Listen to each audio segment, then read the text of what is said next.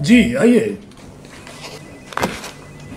तो मैंने सुना कि आप मुझसे एक ड्रामा डायरेक्ट करवाना चाहते हैं। और अगर आपसे मैं ये कहूँ कि वो सिर्फ़ ड्रामा सीरियल नहीं बल्कि खुदा और मोहब्बत का सीज़न थ्री है तो? तो मुझे आपसे प्यार हो जाएगा।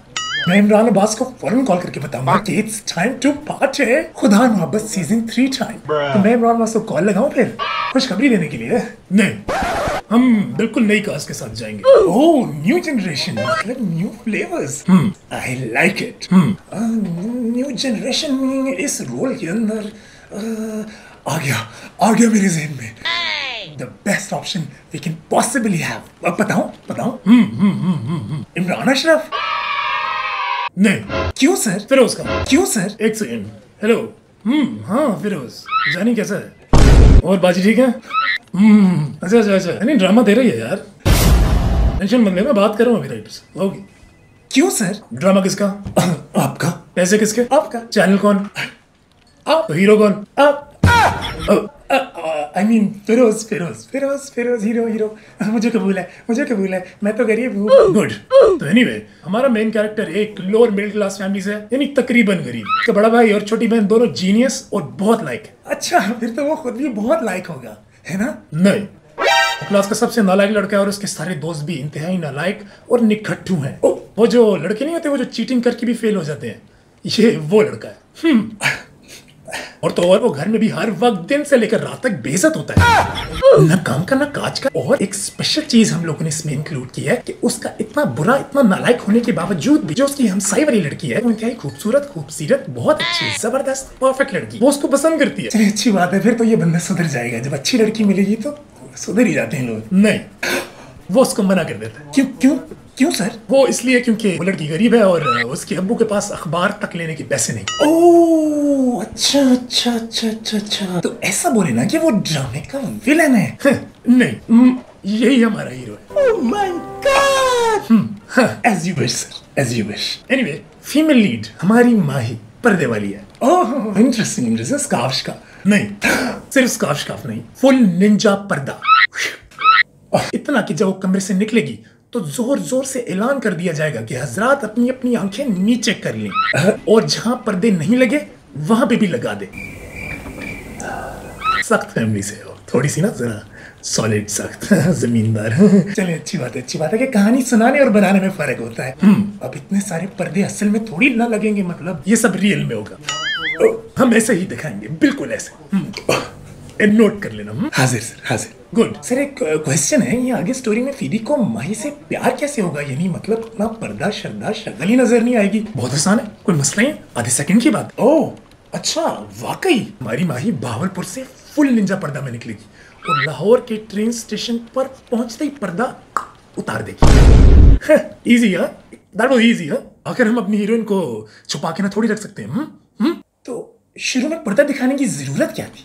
मेरा ड्रामा मेरी मर्ज़ी अच्छा अच्छा अच्छा अच्छा अच्छा अच्छा अच्छा अच्छा अच्छा अच्छा अच्छा सो लड़की है कैसी क्या मतलब मेरा मतलब है कि कुछ कैरेक्टर के बारे में पता चले कि कैरेक्टर है कौन बचपन कैसा गुजरा कैरेक्टर डेप्थ क्या है वगैरह वगैरह मुझे क्या पता मुझसे क्यों पूछ रहे हो okay okay sir no problem sir no problem please carry on anyway और ट्रेन स्टेशन के ऊपर उसका बैग गलती से कोई और लड़का साथ लेकर चला जाएगा और वो उस लड़के को पकड़ लेगी और उसको सबके सामने बेइज्जत कर देगी। ओह वाह सर वुमेन एम्पावरमेंट कमाल बेइज्जती करती है हमारी माही। कमाल। वाह वाह सर वाह. वुमेन एम्पावरमेंट वाह. उस लड़के को हमारी माही से सबके सामने बेइज्जती करवाने के बाद उसी माही से इश्क हो जाएगा मोहब्बत हो जाएगी। कैरी प्लीज़ कैरी उसके बाद माही अपने दोस्त के घर पहुँचती जो रेहा से बुरका रह गया है वो भी उतार कर ऐसे फेंक देगी जैसे कभी माही ने बुरका पहना क्या देखा ही ना हो। वाह वाह सर अगेन वुमेन एम्पावरमेंट क्या लॉजिक देते सर क्या लॉजिक देते एनीवे वापस फीदी की तरफ़ चलते हैं। I am with you sir I am with you अपने फाइनल इम्तिहानों में एक बार फिर फेल होने के बाद फीदी का बड़ा भाई अपने पुराने बॉस निसार साहब से फीदी की जॉब के लिए बात करता है और उसको फ़ौरन जॉब मिल भी जाती है। वाह सर साहब उसको एक शादी मैनेज करने के लिए बुला लेते हैं। ओह अच्छा अच्छा अच्छा। हमारा फीदी इतना नालायक भी नहीं है। आखिरकार वो शादियाँ करवाता रहा है। इवेंट मैनेजमेंट क्या बात है।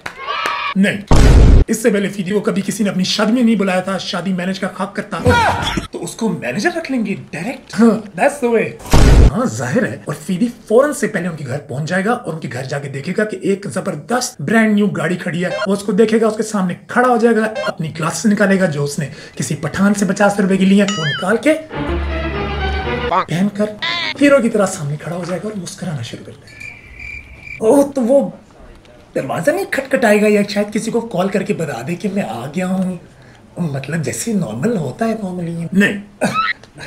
ओके सर प्लीज़ कैरी हमारी माई हमारी फीदी को यूँ देखेगी और वो तैयार होके सेट होकर जाके उसको रिसीव करेगी। हमारी माही हमारी माही यहाँ कहाँ? मैंने बताया नहीं? नहीं। फीदी जो शादी मैनेज करने के लिए आया है वो माई की दोस्त की ही तो शादी है। वाह। क्या इत्तेफाक है सर वाह। तो असल में फीदी के बॉस निसार साहब जो कि माही की दोस्त के अब्बू भी हैं उनके कोई गेस्ट आने होते हैं बाहर के मुल्क से। तो हमारी माही फीदी को देख के समझती है कि ये वही लड़का जो बाहर से आया है तो वो उसको लेने चली जाती है। सिंपल वेरी स्टूपिड सर लेकिन मेरे जहन में एक सवाल है कि माही जो इतने पर्दे करती है वो क्यों एक पराए शहर में एक पराए मुल्क से आने वाले एक मर्द नाम हैरम मेहमान को जाके रिसीव करेगी? और ना सिर्फ़ उससे मिलेगी बल्कि अगले दिन उससे दोस्ती भी कर लेगी। What? क्या सर? क्या? वो भी हाथ मिलाकर। लेकिन वो ऐसा क्यों करेगी सर? थोड़ा सेंस भी तो सेंस नहीं। सेंसेशन फैला देगी हमारी माई। ओह सेंसेशन सर कैसे कैसे फैलाएगी माई सेंसेशन अपने डांस से सर आ, एक सेकंड मेरी मेरी बात सुने सर एक्सक्यूज मी और अगले ही दिन उनकी दोस्ती और गहरी होना शुरू हो जाएगी। और वो मिलकर प्लान्स बनाना शुरू कर देंगे। लेकिन सर वो पर्दा शर्दा वो सब कुछ वो कहाँ क्या सर ऐसे मत करें सर तीसरे ही दिन हमारी फीदी को हमारी माही से लैला मजनू के लेवल की मोहब्बत हो जाएगी। लैला मजनू के लेवल की। हम्म हम्म हम्म सर तीन दिन में। हाँ लैला मजनू की लेवल की मोहब्बत हाँ सर लैला मजनू पढ़ी है आपने ना वो दोनों लैला मजनू जो है ना वो बचपन से एक दूसरे से मोहब्बत करते थे टूट के जाते थे एक दूसरे के लिए बने हुए थे एक को कट लगता था दूसरे को भी खून निकलता था तो मैं क्या करूँ अच्छा अच्छा अच्छा अच्छा अच्छा अच्छा अच्छा अच्छा अच्छा अच्छा सर प्लीज़ कंटिन्यू